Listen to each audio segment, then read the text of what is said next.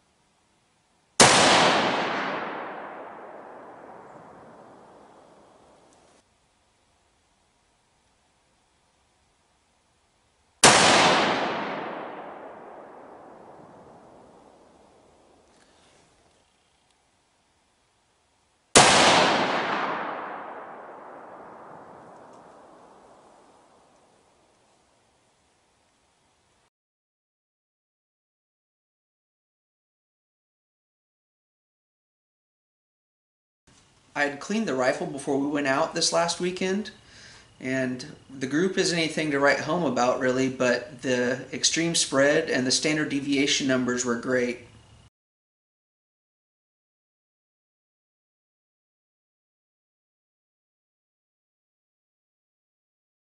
After the rifle had some rounds through it, the second group seemed to tighten up.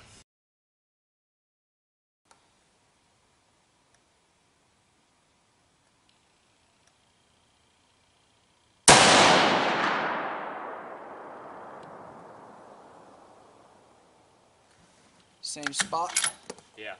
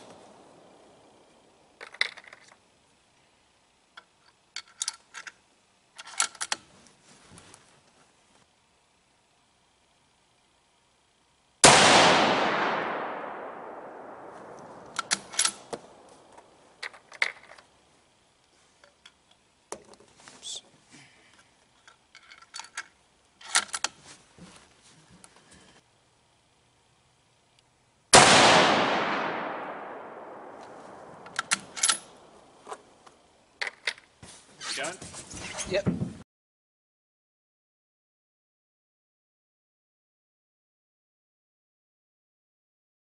The second group had some anomalies in it. Uh, there was one that was at 2554 and another at 2533 that kind of widened out the extreme spread, but the group itself was good. If you have good numbers, good average speed, standard deviation, extreme spread, but your groups aren't where you want them to be, then you just want to adjust your seating depth from this point forward. Maybe load up another 10 rounds, doing some slight adjustments either further out or seating them further in. A lot of this test hinges on solid reloading technique, good case prep, powder charge, seating depth. If you pay attention to the small details, you're going to see good results. After seeing that second group, I don't even think I'm going to mess with the seating depth. I'm just going to leave it where it is, load some more, and take them out and shoot them.